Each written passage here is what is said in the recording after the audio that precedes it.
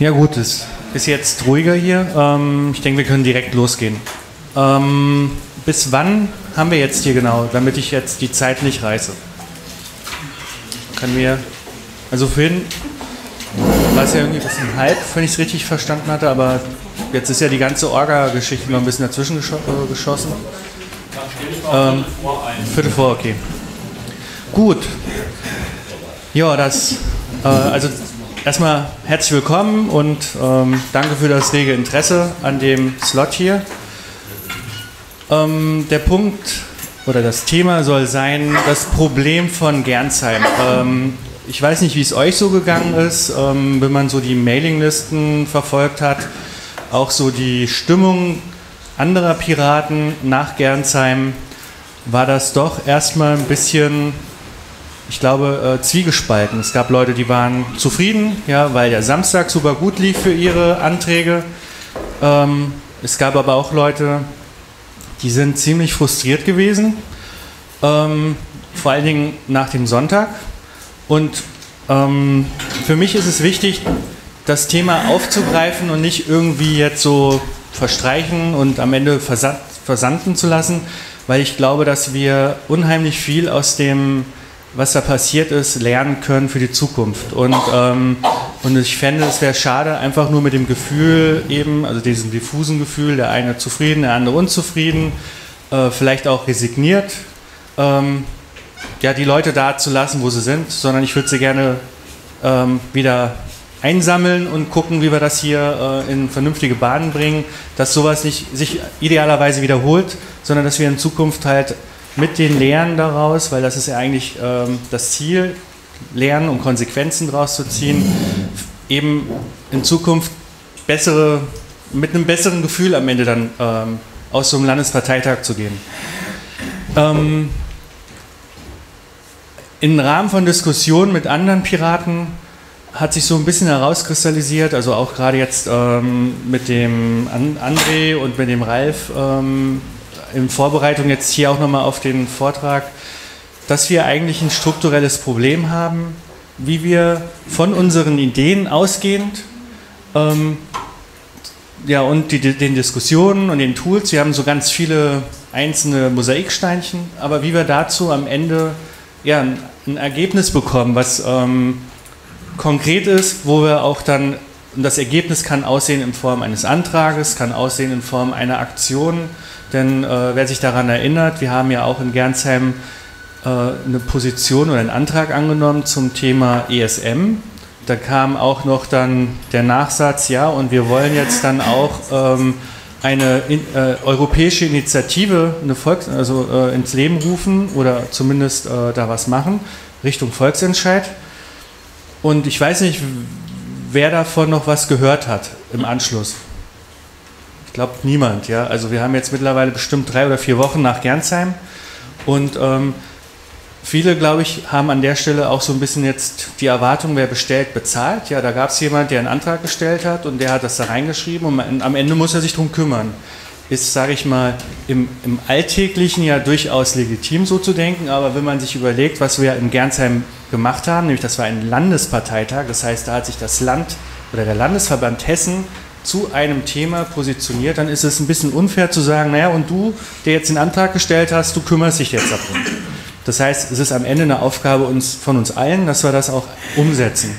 Das nur noch mal an der Stelle zu dem Thema äh, mit den konkreten Ergebnissen.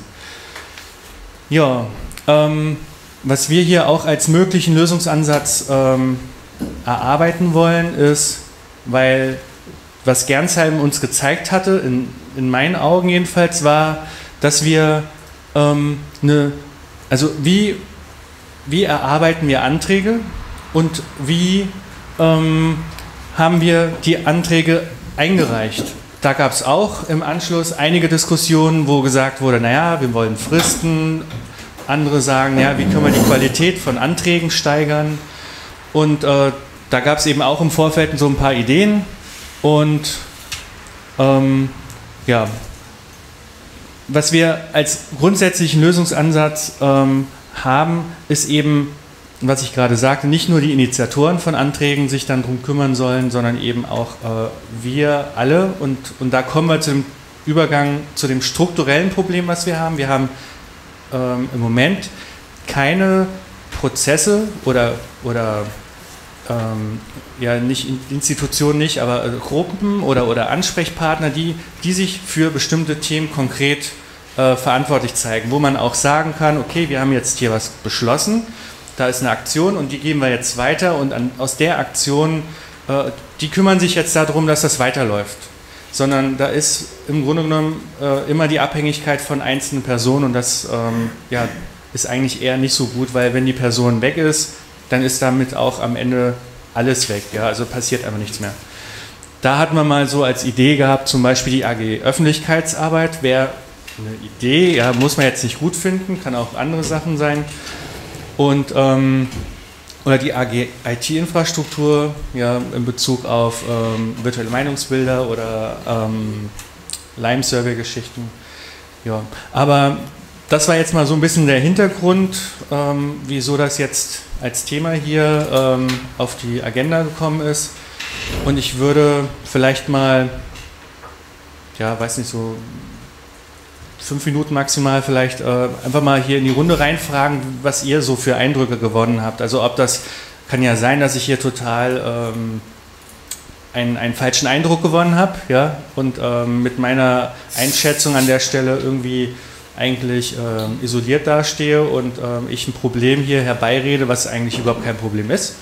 Und ähm, ja, und da würde ich gerne mich mal ein bisschen abgleichen zu euch.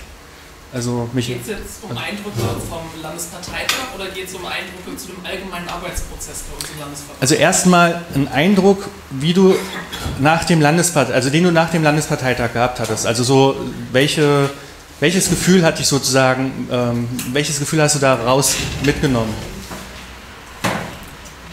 Ja. Will jemand? Wenn, wenn nicht, wir können das auch überspringen. Chemo? Also ich habe das gleiche Gefühl wie du, wobei mir das Gefühl, ich muss sagen, der Landesparteitag war für mich nochmal so ganz offensichtlich, wir wollen Positionen beziehen, wir wollen Standpunkte zu bestimmten Themen beziehen, mit denen wir uns null auseinandergesetzt haben. Das heißt, ähm, bei vielen hast du einfach mal gesehen, dass sie nicht mal in der Lage waren, bei Wikipedia einfach mal reinzuschauen. Dann hätten sie schon genug Futter gehabt. Aber dieses, den Sachen endlich mal, ich sag mal, eine Form, nicht nur eine Form oder auch einen Inhalt zu geben. Und inhaltliche Sachen zu erarbeiten, da habe ich dann gesehen, oh, da steht eine Wahl an, oh, da kommt jetzt noch die Bundestagswahl, da kommt jetzt noch die Landtagswahl. Jetzt müssen wir schnell was durchpeitschen, irgendwelche Positionen verabschieden, um zu sagen, guck mal, wir haben das. Also wir lassen uns von außen aufoktroyieren, dass wir jetzt unbedingt etwas brauchen, legen dann los, ganz im Form, das meine ich wirklich dilettantisch, nicht mal amateurhaft, wirklich dilettantisch, wo wir uns selbst in der Partei, also ich war auf dem Landesparteitag, wenn du durch die ähm, Reihen so geschaut hast, hat jeder nur dem Kopf geschüttelt und gesagt, was ist denn das? Also, ich persönlich, also das ist kein Angriff, um Gottes Willen gegen die Leute, die etwas erarbeitet haben. Aber dieses Erarbeiten, dazu sollten wir einfach, wir brauchen mehr Zeit, wir müssen reifen, wir müssen uns auseinandersetzen, wir brauchen Diskussion. Und da brauchen wir halt die Struktur. Wir brauchen wirklich Anlaufstellen. Gibt es vielleicht Menschen, die schon mal sowas erarbeitet haben, die einfach ihr Wissen mit den anderen auch mal teilen, um dann wirklich am Ende auch ein Ergebnis zu haben, wo wir sagen können, okay, jetzt sind wir so weit informiert, so weit haben wir alle Strukturen geschaffen, dass ich, ich persönlich in der Lage bin, zu, abzuschätzen, ja, das will ich oder das will ich nicht. Okay. Ähm, Michael, dann Erik. Erik und dann Christian. Ja, mir ging es eigentlich auch relativ ähnlich wie, wie dir schon war. Ich fand den, den Samstag echt klasse. Also ich bin mit einem richtigen Begeisterungsgefühl da auch nach Hause gegangen. Und ähm, der Sonntag war, ich, also ich bin nicht deprimiert nach Hause gegangen, aber es war halt einfach völlig chaotisch und mir hat irgendwann so der, auch auf dem Landesparteitag so der Schädel gedröhnt, dass ich kaum mehr klar denken konnte. Es war einfach ähm, strukturell ging es, glaube ich, den, den meisten von uns so, dass irgendwann auch eine Phase da war, wo keiner mehr so richtig wusste, was ist jetzt hier eigentlich los und vielleicht auch überhaupt nicht mehr richtig denken konnte, weil es ständig hin und her ging einfach. Und so von, von meiner Analyse her war es einfach so, dass ähm, ja, die, die Struktur, wie man an die Anträge, also das das Ganze ist ja dann bei dem ganzen Bildungsblock aufgetaucht letztendlich. Ähm, dass die, die Herangehensweise oder ich weiß es nicht, also das, das Problem war so ein bisschen, äh, worüber sich ja auch der, der Sepp dann beschwert hat, dass das Ganze ja dann teilweise ein Flickenteppich geworden ist. Äh, von dem, was jetzt tatsächlich aufgenommen worden ist aus diesem Bildungsprogramm.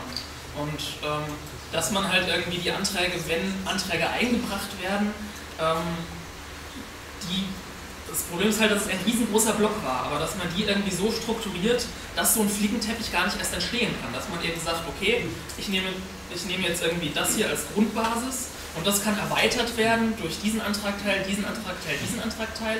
Und wenn der Anfang nicht angenommen wurde, dann fällt der ganze Rest auch schon raus. Ähm, nur, nur ganz kurz, bevor du jetzt was sagst. Ähm, lasst uns vielleicht erstmal wirklich ganz allgemein das Gefühl mitnehmen und zu diesen inhaltlichen kommen wir nachher. Also das kommt, deswegen haben wir auch an der Stelle diese Art der Struktur hier gewählt, weil wir wollten jetzt erstmal wirklich erstmal ein bisschen allgemein einsteigen, um dann konkret zu werden. Und das kommt dann auch mit dem André und mit dem Ralf noch. Äh, ähm, erst der Erik, dann der Christian, dann hatte ich hinten die Petra, ähm, der Peter und der Herbert. Ja, ihr müsst euch bitte eure Vorperson merken, weil irgendwann ist bei mir die Kapazität am Ende. Oder? Okay, kann jemand moderieren dann? Hilft mir jemand? Um Mach das mal okay. Ich war am ersten Tag da und am äh, zweiten Tag konnte ich nicht. Ähm, am ersten Tag war sehr gut, bis auf zwei Punkte, die ich anmerken möchte, ist, dass in vielen Anträgen die Cracks nicht offen oder nur kurz offen war. Ich habe es auch im Landesparteitag kurz gesagt, ähm, dass man ein paar Verbesserungen oder Änderungen anbringen konnte. Und dann hatten wir einen Antrag, da habe ich den Antragsteller selbst hat gesagt, okay, der Gedanke ist gut, das würde er gerne nicht äh, verändern. Das haben wir vorne an die Orga geschickt, einer er und einer ich. Und es ist beides rausgefallen. Also, obwohl der Antragsteller selbst, der Antrag von ihm selbst ging durch, ist der Zusatz, die Ergänzung durchgefallen. Ja. Das waren so organisatorische Sachen. Ansonsten super der erste Parteitag also ersten Tag. Zweite war ich nicht da. Ah, okay. Ähm, da hätte ich für die Struktur eine Anmerkung, dass man, wenn man zu Bildungspolitik was sagt, das hessische Schulgesetz äh, als vorgegeben erstmal akzeptiert und dann da zu sagen, das will ich dort ergänzt haben. Vielleicht nur so als hm. Okay, aber wie gesagt, ja. jetzt erstmal bitte keine inhaltlichen Diskussionen dann an der Stelle. Ich glaube, Christian mal jetzt. Ne? Ja, also ich glaube jetzt zu, zu äh, was gut lief und was nicht gut lief, das ist ja auf der BH auch schon sehr ausführlich. Äh, das war aber nicht, das war jetzt nicht die Frage. Die Frage ist, mit welchem Gefühl bist du rausgegangen? Ja, ja? okay, okay, okay. Ähm, was ich sehr interessant fand äh, und etwas irritierend war, dass ich, dass es eine große Kluft gab zwischen den aktiven, engagierten sozusagen Profis der Antragstellung im im äh, Landesverband, also denen, die für der, ich würde sagen, vielleicht den 10, 15 Prozent, die für das verantwortlich waren, was dort auf den Tisch kam. Und es eine große Irritation gab, dass die Masse der Parteitagsbesucher sich anders verhalten hat, als man das erwartet hat, weil man ja gründlich vorbereitet hatte. Und das ist also, was ich komisch fand, war, dass es eine Irritation darüber gab, dass, wenn da auf einmal lauter Leute sitzen, von denen viele das einzige Mal zu einem Parteievent vielleicht zum jährlichen oder zweimal im Jahr zu einem LPT gehen, dass die nicht so reagieren, wie man das im Vorfeld in dem Umfeld aktiv Beschäftigter erlebt hat und da heraus geschlossen hat. Diese Irritation fand ich ziemlich komisch. Also ich würde das, find, fand den, auch das, den äh, Vorgang, auch alles, was unbefriedigend lief, ganz naheliegend ähm, und zum Teil unvermeidlich. Und äh, ja. Jetzt ging es in die, ich weiß nicht, Petra oder erst? Ich bin noch ganz kurz. Ja. also ich bin dann auf dem Landesparteitag gewesen. Da war ich gerade Neuling, gerade drei Wochen frisch bei der Piratenpartei.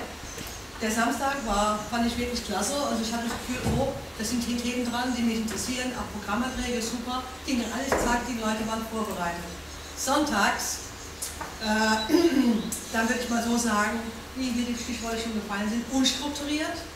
So ein Werk von Bildungspaket. Und als ich mir das durchgelesen habe, das war nicht sortiert, nicht geordnet, viele waren unvorbereitet. Und dann kam der große Frust. Also Johannes und ich, wir hatten auch zwei Anträge laufen wir kamen nicht mehr dran, so wie wir uns ging es dann wahrscheinlich vielen anderen auch. Die gingen leer aus. Wir sind mit solch einem Hals nach Hause gefahren. Und vor allen Dingen so abrupt, musch, keine Erklärung, wann findet der nächste statt.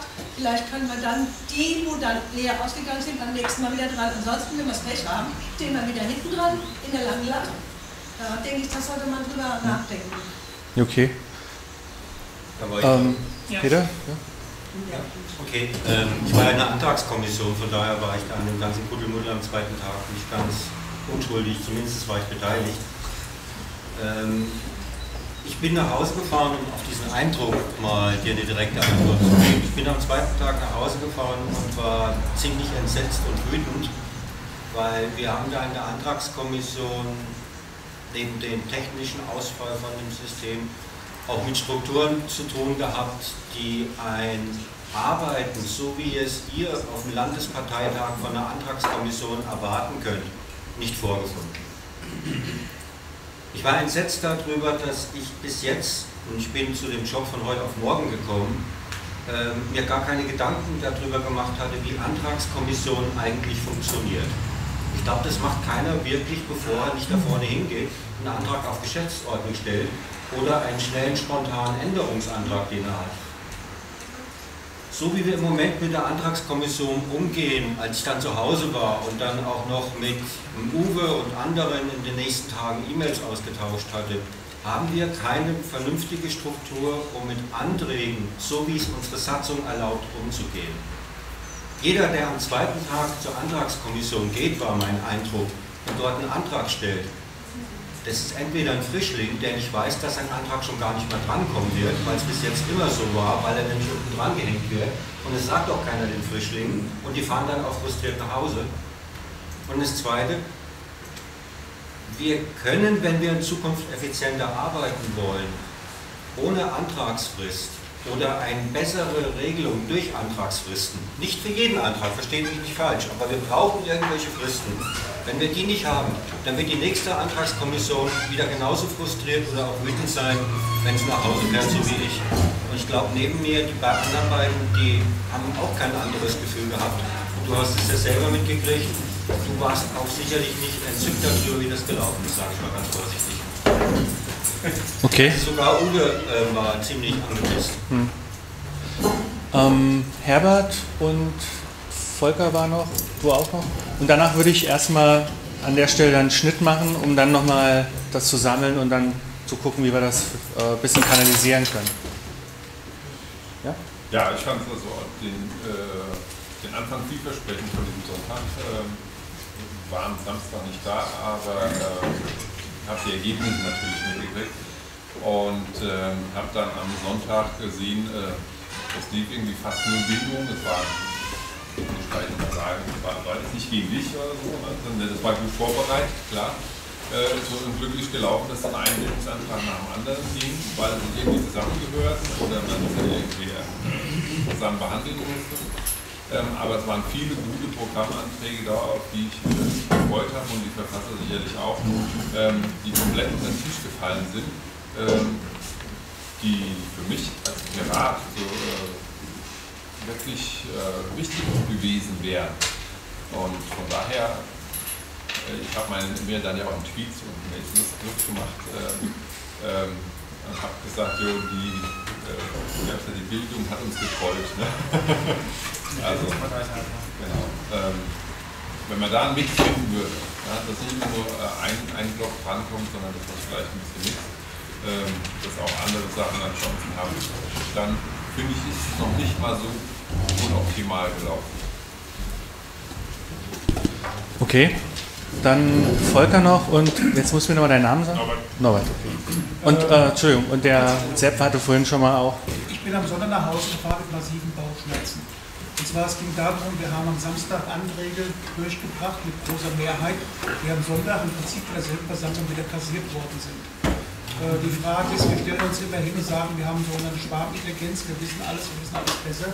Wie kann es denn sein, dass wir am Samstag einen Antrag mit großer Mehrheit annehmen und wir am Sonntag kassieren, weil auf einmal einer sagt, ja, wir haben alles Blödsinn gebaut.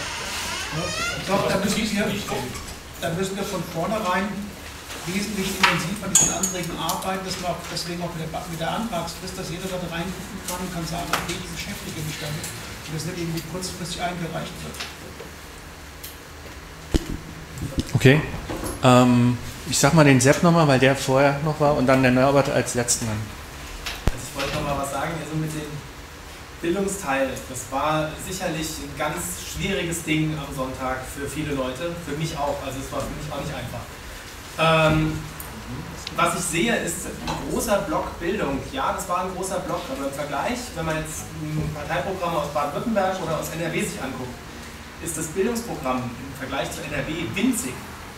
Die Frage ist, was, wie kriegen wir es hin, dass wir diesen basisdemokratischen Charakter, die Diskussionsmöglichkeiten und die Diskussion immer noch beibehalten können, ohne Leitanträge und trotzdem irgendwelche tiefgründig ausgearbeiteten Anträge, die auch länger sind, irgendwie verabschieden können. Wir können ja nicht nur, wir können ja nicht nur immer Kleinkram verabschieden und Leckerkram verabschieden. Wir müssen auch mal irgendwas Umfassenderes und Größeres, wenn wir uns, ich meine, wenn wir ein Thema wie den ESM wirklich behandeln wollen, auf dem Parteitag irgendwann verabschieden wollen, was, was echt Komplexes ist, wo ja unsere Politiker dran scheitern eigentlich, also die wir jetzt an der Macht haben und wir doch was Besseres präsentieren wollen oder eine Meinung dazu äußern wollen oder ein Programm festlegen, die besser ist oder was anderes bietet, dann müssen wir da irgendwie Wege finden, die Diskussion ins Vorfeld zu verlagern, dann müssen wir irgendwie Wege finden, das zu verbreitern. Und äh, ich habe es versucht teilweise, es ist teilweise nicht angekommen, es kam keine Diskussion zu diesem Bildungsthema im Vorfeld zustande. Und dann äh, gab es halt den Clash am Sonntag auf dem LPT. Das war auch nicht in meinem Sinne unbedingt, also klar. Ähm, Norbert, und dann würde ich in die Vorschläge gehen. Es wurde einfach zu viel kurzfristig diskutiert und inkompetent diskutiert. Und die Anträge wurden dann im Vorhinein nicht angeschaut gehabt. Das ist André, dass entsprechend die Anträge einfach vorher sich auch angeschaut werden und entsprechend im Vorhinein Diskussionen stattfinden. Es kann aber nicht sein, dass man dann kurzfristig stundenlang oder äh, lang über das Thema noch diskutiert, äh, die Sprecherliste immer länger wird und länger wird und eigentlich fachlich davon nichts äh, herüberkommt. Hm. Deswegen ist das Thema eigentlich interessant gewesen, viel zu lang gewesen. Ich bin nach der Hälfte gegangen, weil ich dachte, es kommt sowieso am Ende nichts dabei raus. Hm. Und das Thema, was wirklich von, von einem Personenkreis vorbereitet worden ist, der Masse zu fressen worden ist, die Vorbereitung der Themen, der Anträge muss einfach vorher stattfinden. Es dürfen die ganzen Antragsänderungen während des, während des äh, Parteitags äh, reinkommen. Das ist äh, absolut hm. zeitfressend und äh, macht keinen Sinn. Okay, dann erstmal vielen Dank für die Rückmeldung. Ich würde jetzt zusammenfassend sagen, ich bin offenbar nicht so der ganz äh, Einzige gewesen mit diesen Eindrücken, die ich am Anfang geschildert habe. Und auch die Rückmeldungen lassen sich, glaube ich, doch ganz schön auch in diese zwei Punkte mit der Antragserarbeitung und Antragseinreichung äh, eigentlich ganz gut adressieren, weil äh, was jetzt hier immer wieder kam, das eine war inhaltliche Kritik, das andere war organisatorische Kritik. Ähm, wenn ich auch gerade an Peters äh, Rückmeldung aus der Antragskommission dann äh, nehme, ähm, ich glaube, dann haben wir zumindest an der Stelle schon mal die zwei Kernprobleme, wo wir ansetzen müssten, äh, identifiziert und würde jetzt einfach nochmal Ideen äh, vorstellen, wie wir das Ganze angehen könnten. Das ist wirklich eine, einfach mal so in die Runde geworfen. Das äh, werden wir jetzt heute nicht hier ausdiskutieren. Also nicht jetzt bitte enttäuscht sein oder den Anspruch haben, hier alles zu diskutieren, sondern es ging wirklich erstmal darum, mal ein paar Ideen zu entwickeln, vorzustellen, äh, mal auch wieder Feedback einzuholen und dann ähm, sukzessive mit den anderen Themen, die wir jetzt gleich danach noch bekommen, im Detail weiter auszudiskutieren. Ähm, ja? Also zwei Lösungsmöglichkeiten würde ich gerne vorschlagen. Das eine wäre ein gesunder Mix von Anträgen zu verschiedenen Themen. Das ist am Sonntag deswegen gescheitert, weil nur Bildung dran kam und Projekt völlig zerredet wurde. Und der zweite Vorschlag wäre, dass man das im Gesamtblock abstimmt und nicht jeden Satz einzeln. Das ist nämlich auch am Sonntag passiert. Jeder kleine Kleinkram wurde da einzeln abgestimmt. Wenn das ein sauberes ja, Gesamtkonzept gewesen, hätte man es auch im Block abstimmen können. Und das würde, hätte viele Probleme beseitigt, die Seid mir nicht sauer, aber ich würde an der Stelle nochmal einen Schritt zurückgehen. Ja, ich, ich würde noch. Ja. macht Protokoll.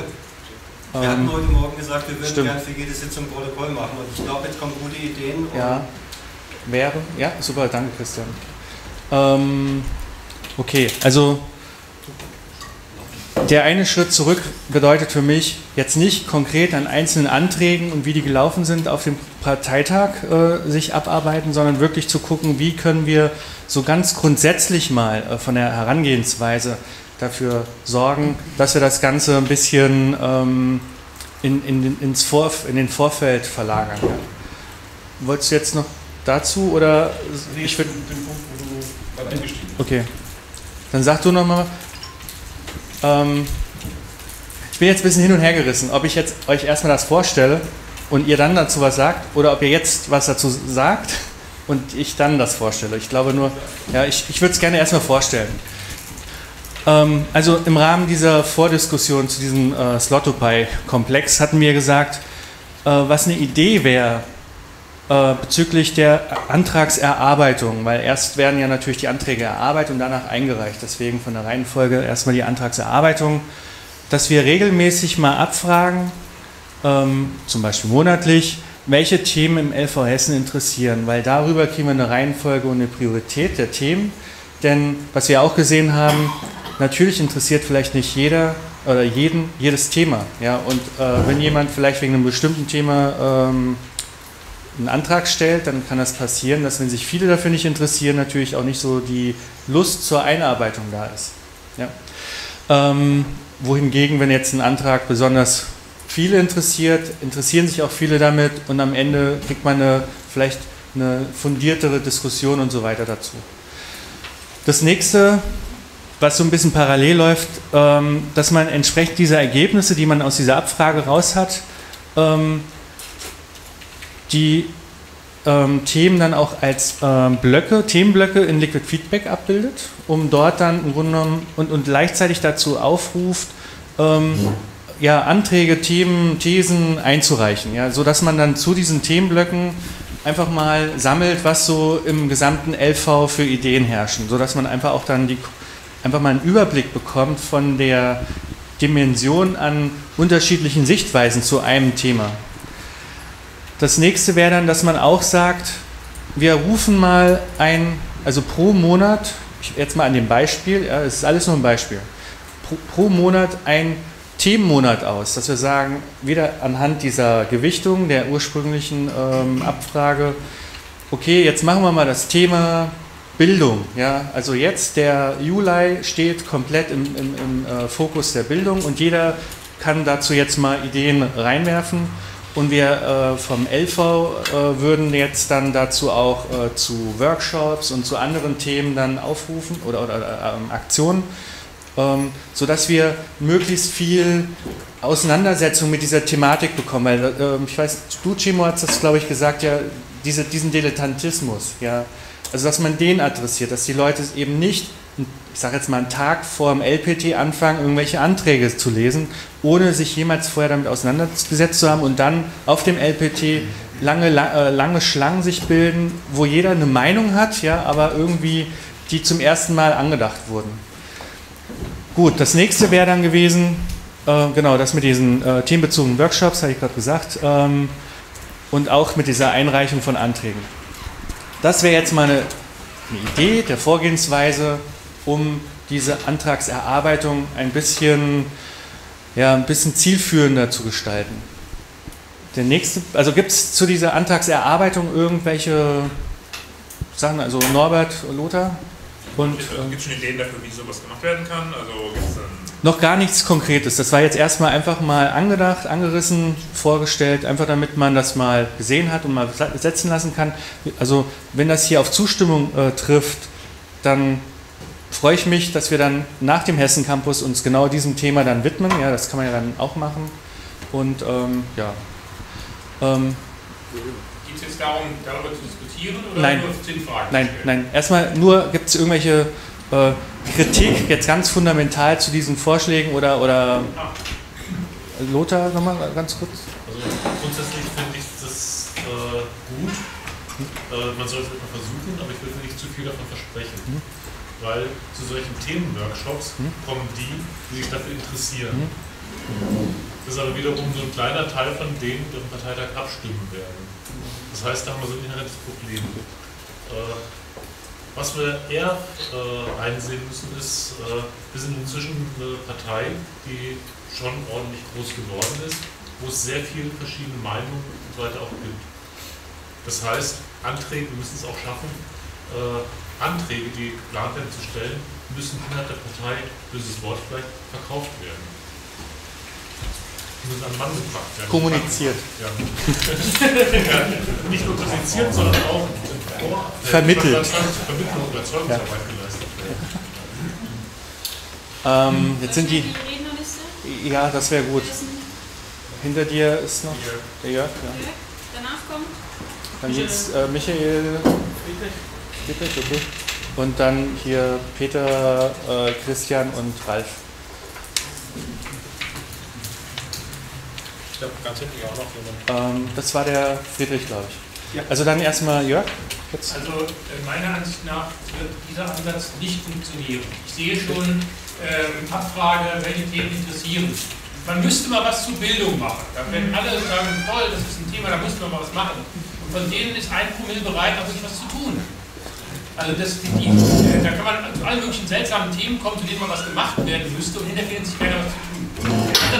Das umgekehrt sein. Man muss schauen, zu welchen Themen wird etwas gemacht und die Leute bitte schön einen Praxistest aussetzen, dass so eine AG Bildung sehr frühzeitig mal den Wind ins Gesicht bekommt, welche von ihren Ideen mehrheitstauglich sind und welche nicht. Aber zu sagen, sucht mal Themen raus, die wir mal bearbeiten, dann guckt, welche Themen bearbeitet werden und äh, sorgt dafür, dass die Leute, die daran arbeiten, möglichst frühzeitig ein Feedback bekommen. Also das Okay. Kommt ja nicht, also Ich lasse das jetzt einfach mal im Raum stehen. Das ist jetzt eine Aussage, eine Sichtweise und ähm, ja. Dann war wer? Michael. Okay. Ähm, ja, ich sehe im Prinzip ein ähnliches Problem. Ähm, wir machen am Anfang eine Abfrage, wer sich für welche Themen wird sich interessiert. Und eben nicht dafür, wer ist bereit, da was zu machen. Weil ähm, ich sehe es im Prinzip genauso, dass dann ganz viele Leute kommen, okay, aktuell, wir müssen uns breit aufstellen in diesem, jenem und welchem Thema. Ähm, aber letztendlich findet sich dann keiner, der die Themen wieder bearbeitet. Das heißt, letztendlich müsste man in so einer, äh, in so einer Abfrage äh, nicht abfragen, wofür interessiert ihr euch, sondern wofür wärt ihr bereit, euch einzusetzen.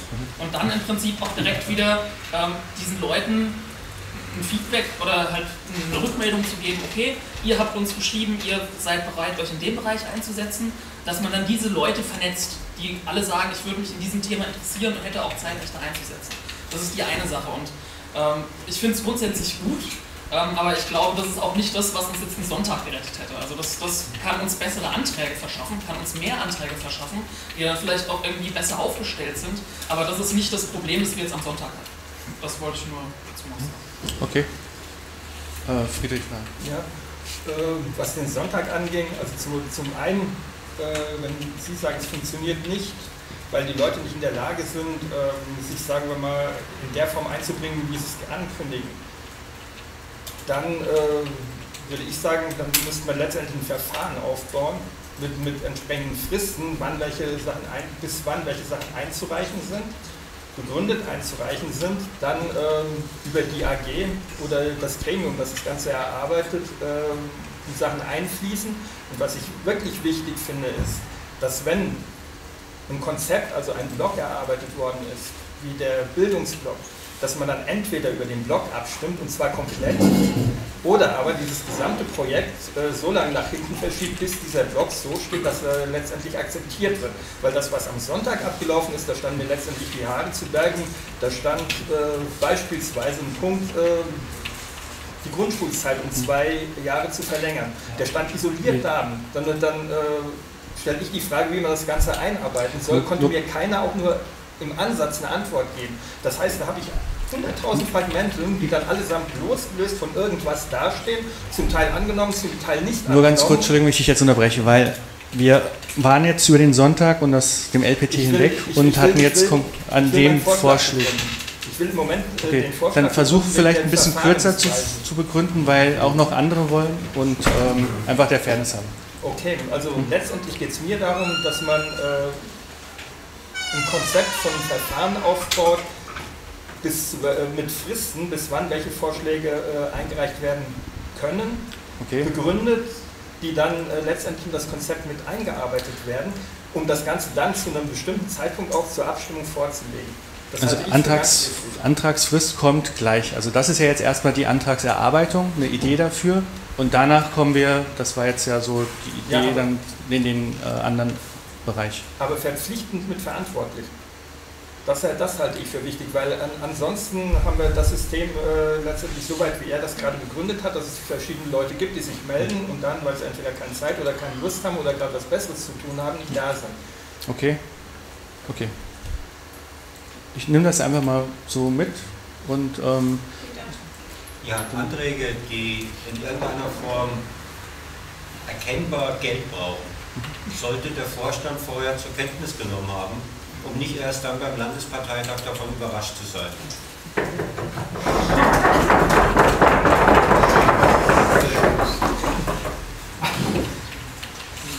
Und zu den, von der Vorgehensweise für die Antragserarbeitung, also das eine ist... Ich meinte damit, es sollte, wenn ein Antrag eingereicht wird, die Möglichkeit gegeben sein, zu sagen, hallo, wir sagen alle, was wir wollen und wir suchen dafür Mehrheiten, aber wenn die Geld kosten, dann müssen wir auch unserem Schatzi die Möglichkeit gegeben haben, und zwar verbindlich gegeben haben, dass er dazu eine Stellungnahme abgibt und nicht erst einen Tag später wir vor der Situation stehen, dass vorne der gesamte Vorstand steht und sagt, übrigens, wir wollten noch ganz freundlich anmerken, wir können nicht finanzieren, was ihr gestern beschlossen habt. Aber lass es ist vielleicht jetzt ein bisschen bösartig, es ist auch keine Kritik an euch, sondern wir haben das bis jetzt noch nicht berücksichtigt wir brauchen in unserem Verfahren eine Möglichkeit, schon bei Antragstellung sagen zu können, das kostet uns für die nächsten zwölf Monate in irgendeiner Form so und so viel Dollars, Euros, was auch immer, aber vor allem der Vorstand hat den Antrag zur Kenntnis genommen. Er kann ihn inhaltlich unterstützen. Ihr könnt euch vielleicht mal an einen Parteitag erinnern, wo Uwe gesagt hat, wenn dieser Beschluss so durchsteht, dann komme ich nicht damit in euch in Vorstand rein, dann kandidiere ich nicht. Und Aber daraufhin ist dann alles wieder zurückgenommen worden, mehr oder weniger. Sei mir nicht, sei mir nicht böse. Ähm, ich möchte im Moment nicht inhaltliche Diskussionen führen, weil wir uns, in, sobald wir das anfangen, verzetteln. Okay, also einfach im, Ange im Moment, einfach nur im Anbetracht der Tatsache, dass wir jetzt hier erstmal ganz allgemein diskutieren wollen. Das kannst du gleich nochmal im Detail beim André bringen. Ja? Das kommt noch. Okay. Also zwei Minuten. Ähm, du hast die Liste. Ich habe sie jetzt nicht. Der Christian, okay. Ja, ähm, ich habe vor, weiß nicht, zwei Wochen oder so ja mal eine längere Mail auf die Mhm. BWH geschickt, die im Prinzip genau diese Probleme adressiert, ähm, weil ich schließe mich eigentlich dem Zweifel meiner Vorredner an den Punkten an, ähm, was selbstfütternde Mechanismen betrifft, also die einzurichten, in der Hoffnung, dass die Leute sich dann von alleine mehr den Anträgen widmen. Das wird nur mit wenigen Leuten passieren.